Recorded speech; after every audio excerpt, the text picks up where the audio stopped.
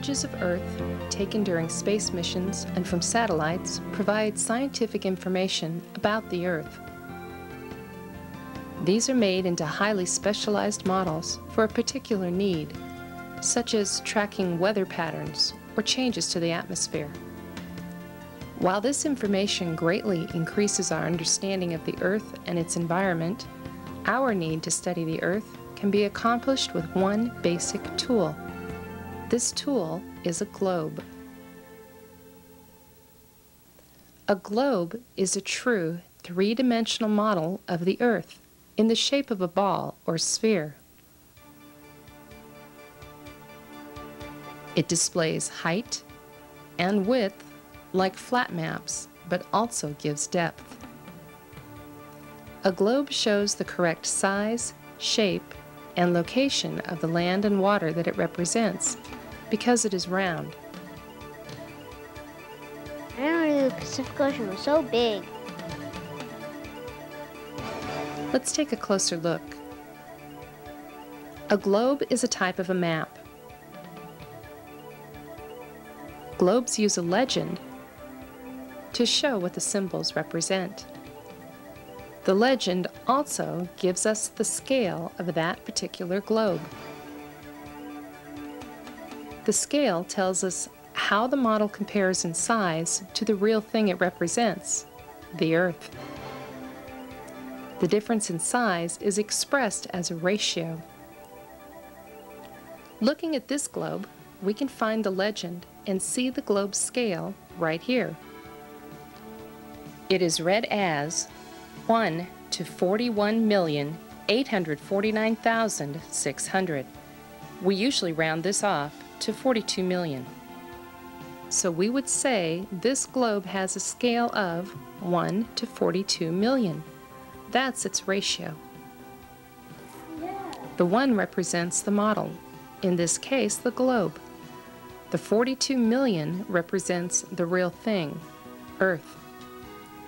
Again, looking at the legend, we can see that this globe has a diameter of 12 inches.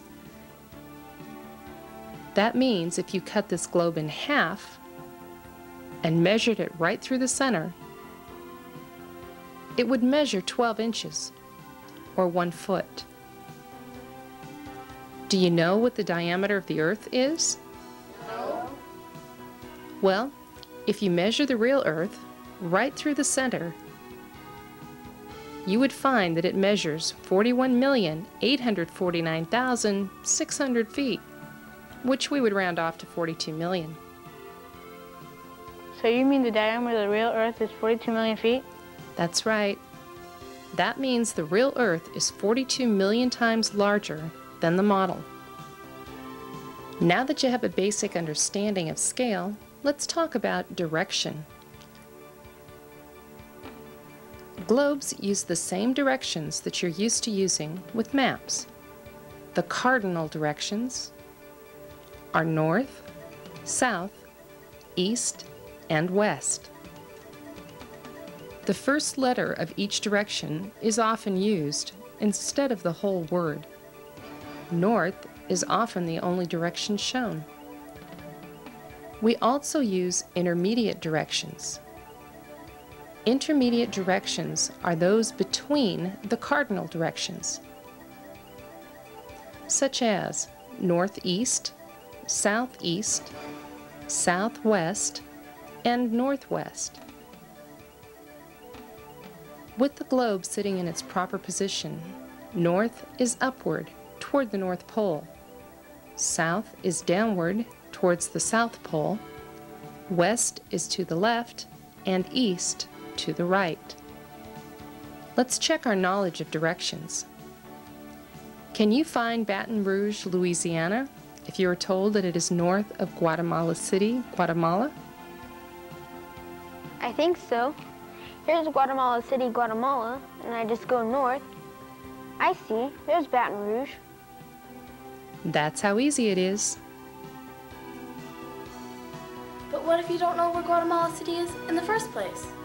Great question. Then we'd have to tell you very specifically where to find Guatemala City, Guatemala on the globe. To do that, we use an imaginary series of lines that make up a grid system. One set run north and south and are called lines of longitude.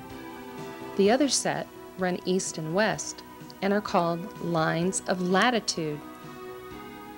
Lines of latitude are also referred to as parallels of latitude. Since they are evenly spaced, about 69 miles apart, exactly parallel to each other. Around the middle of the Earth is a line called the equator. The half of the globe above the equator to the North Pole is called the Northern Hemisphere. The lower half of the globe below the equator to the South Pole is called the Southern Hemisphere. The word hemisphere means half of a globe or sphere. The lines of latitude are shown on this globe at every 15 degrees. This is the symbol for degree.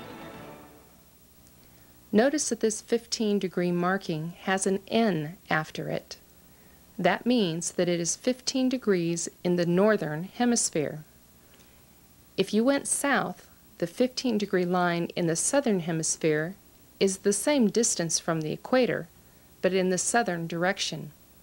You would say your latitude is 15 degrees south.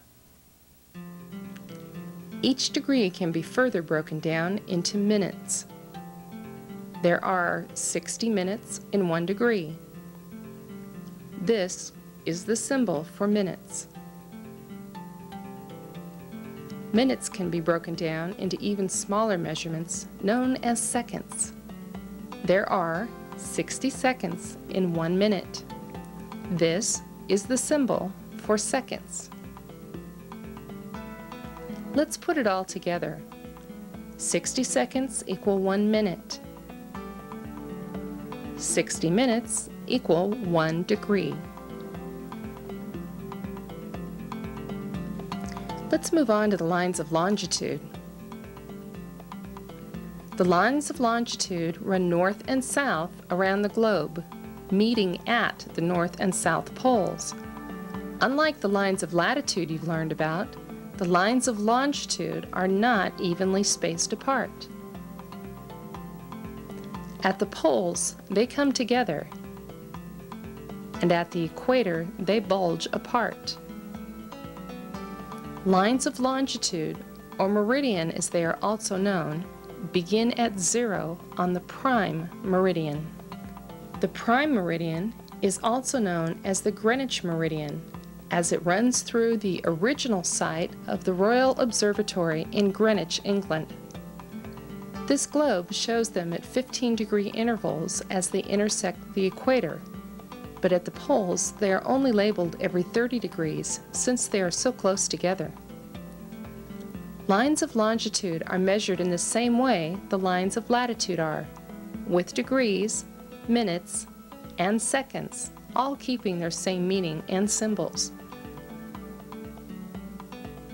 Just like the zero line of latitude, the equator, divides the Earth into the northern and southern hemispheres, the zero line of longitude, or line of meridian, divides the Earth into the eastern and western hemispheres.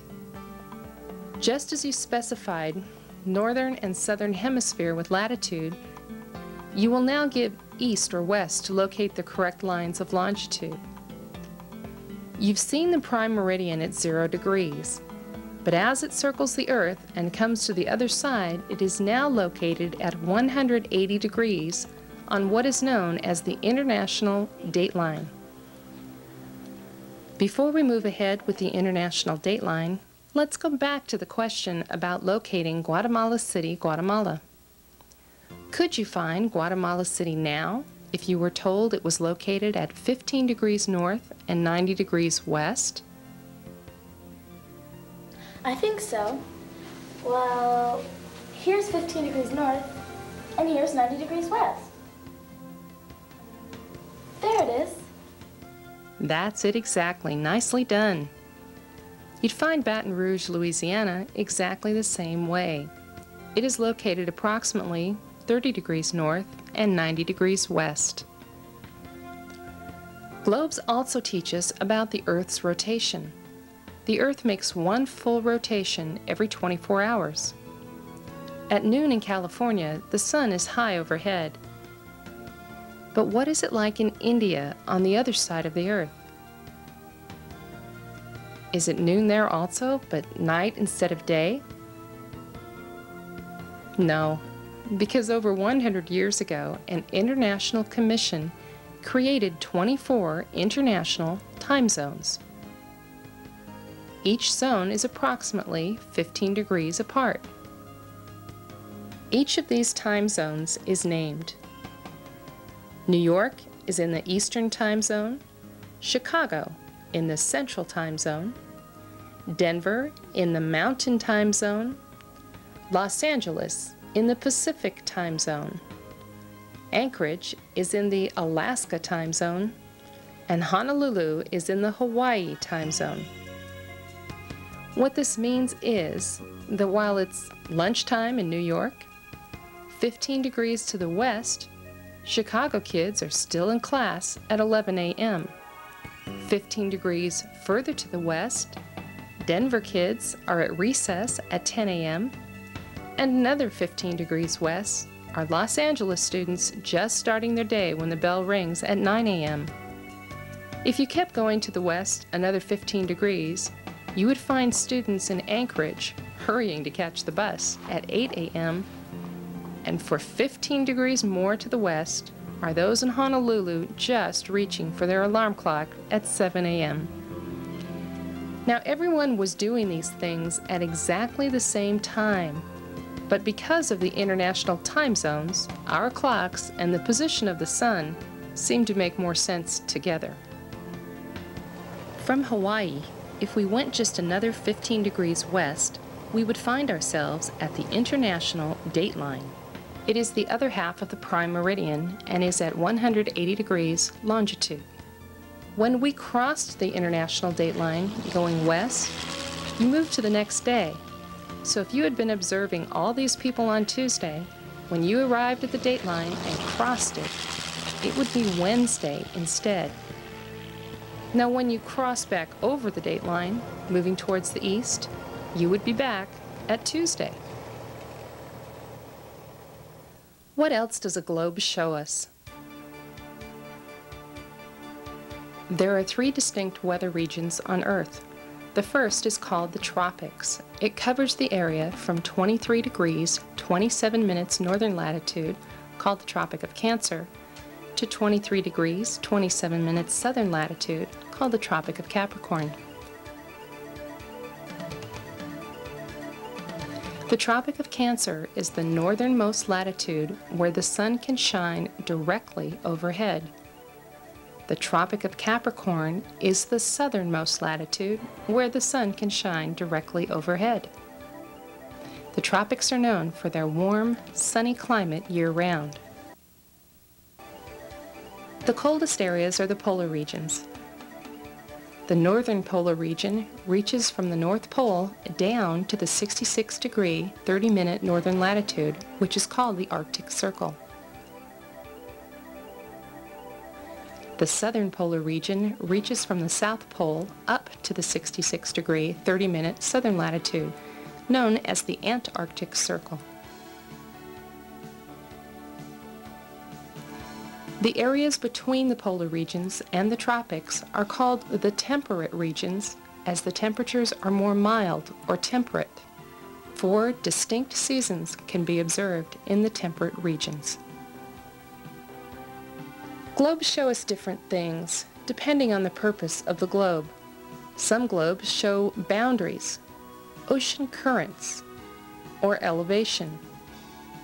This globe details historical information on many of the famous explorations by water.